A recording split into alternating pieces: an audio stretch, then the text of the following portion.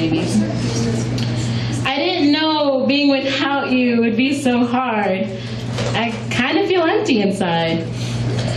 But at first I thought I could survive, but it's turning out to be harder than I assumed.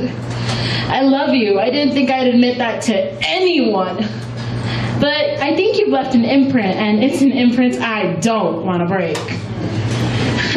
I want it to last forever and ever. You might like another, but I think I'll still love you. I know I failed and I cannot fix my wrongs. I tried so damn hard.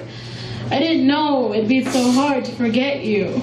I didn't know forgetting that your raspberry scented cologne was so difficult. I didn't know. I didn't know it'd be so hard to pretend I don't care. But here's the thing I care too much. I taught myself not to get attached, but however, I think I disobeyed my own rule. I didn't know it'd be so hard to detach myself from you. I honestly didn't know. Now that you're forgetting me, I'm laying here with a silent tear in my eye, remembering when I used to lay on your chest, my hand entangled in yours, and I'm messing with your hair. I didn't know. The silent tears are being held back as best as I can. I didn't know it was this hard. I honestly didn't know.